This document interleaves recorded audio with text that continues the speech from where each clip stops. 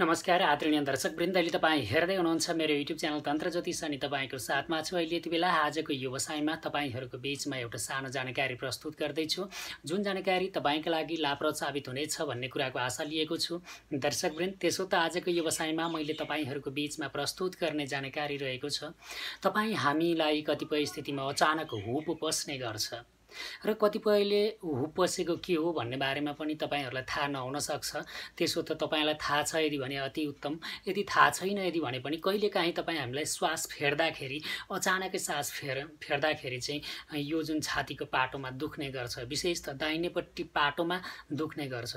जुन तपाईँले श्वास फाल्दा पनि दुख्छ र श्वास तान्दा पनि दुख्छ यसलाई चाहिँ अचानक चाहिँ तपाईँले श्वास फेर्दाखेरि तपाईँको यो जुन छातीको पाटो अचानक दुख्नुलाई चाहिँ हुप पसेको भनेर पनि भनिन्छ जुन चाहिँ तपाईँ हामीलाई हो पस्दाखेरि विशेष गरी तपाईँ हाम्रो गाउँघरमा एउटा चलन पनि छ जुन तपाईँले श्वास लिँदा पनि तपाईँलाई श्वास दुख्छ र फाल्दा पनि श्वास दुख्छ यदि भने त्यसले चाहिँ अलि बढी नै पीडा दिन्छ।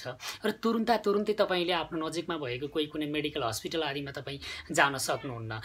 भ्याउनुहुन्न अथवा तपाईँको नजिकमा चाहिँ त्यस्तो हस्पिटल आदि मेडिकल आदि केही पनि छैन यदि भने सबैभन्दा पहिला चाहिँ तपाईँले जब तपाईँलाई श्वास लिँदा पनि दुख्छ र फ्याँक्दा पनि दुख्छ त्यति बेला चाहिँ तपाईँले आफ्नो यो छातीको पाटोमा चाहिँ एउटा खिप जुन हुन्छ नि तपाईँ हामीले चाहिँ काँडा झिक्नको लागि प्रयोग गर्ने अथवा कुनै कपडाहरू चेप्न आदिको लागि प्रयोग गर्ने खिप हुन्छ त्यो खिपलाई चाहिँ यहाँनिर लगाइदिनु भयो यदि भने तपाईँको हुप पसेको जुन हुन्छ नि त्यसको पीडा चाहिँ तपाईँलाई कम गर्नका लागि सहयोग गर्छ।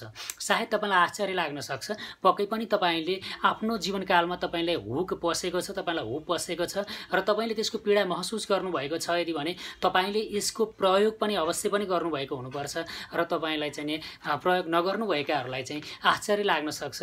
तर तपाईँलाई हो पस्यो यदि भने तपाईँले चाहिँ नि यो प्रयोग गर्दा तपाईँलाई तत्काल त्यसको पीडा चाहिँ कम हुन्छ। र त्यसै गरी हुप पसेको चाहिँ एउटा फुक्ने मन्त्र पनि हुन्छ।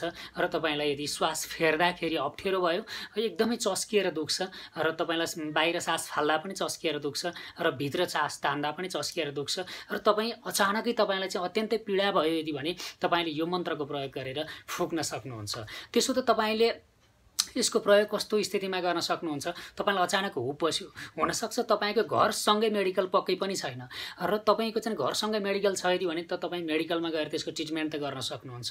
तर पनि कतिपय स्थितिमा हुक पसेको चाहिँ तपाईँले मेडिकल ट्रिटमेन्ट गर्दा पनि तपाईँलाई डक्टरले कोही कुनै दिएको औषधिले पनि तपाईँलाई तुरुन्तै काम गरिदिँदैन।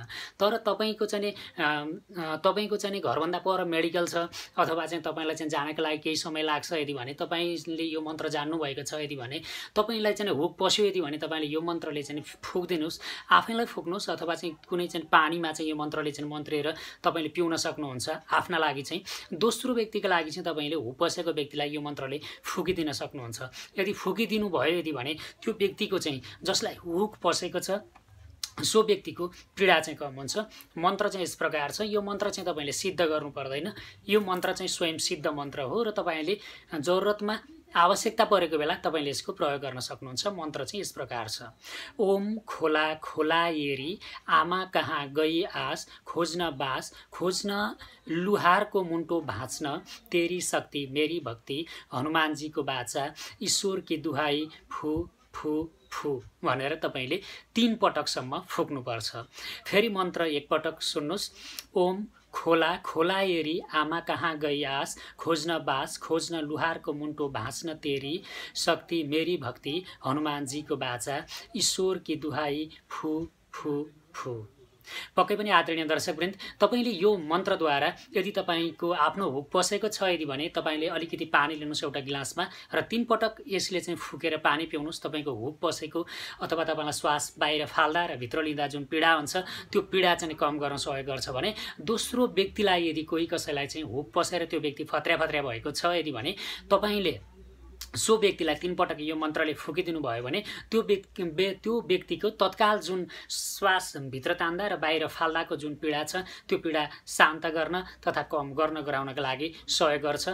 पक्कै पनि आदरणीय दर्शकवृन्द आजको व्यवसायमा मैले दिएको जानकारी तपाईँको लागि लाभप्रद साबित हुनेछ भन्ने कुराको आशा लिँदै आजको व्यवसायबाट बिदा हुन चाहन्छु। बिदा दिनुहोस्। हस्त नमस्कार।